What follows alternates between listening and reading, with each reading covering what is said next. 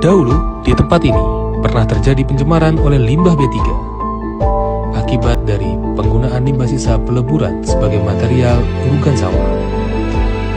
Kami berjumpa dengan salah satu warga sekitar untuk bertanya bagaimana proses pemulihan yang dilakukan oleh pemerintah. Assalamualaikum. Salam. Selamat pagi, Pak. Sejak tahun 2020, pemerintah telah melakukan berbagai upaya.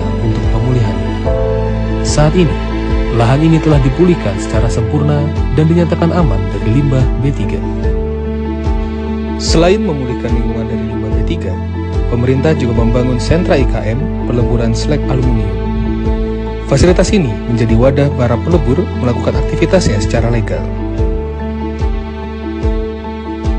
Upaya pemulihan lingkungan ini terwujud atas kerjasama semua pihak, termasuk masyarakat yang taat pajak.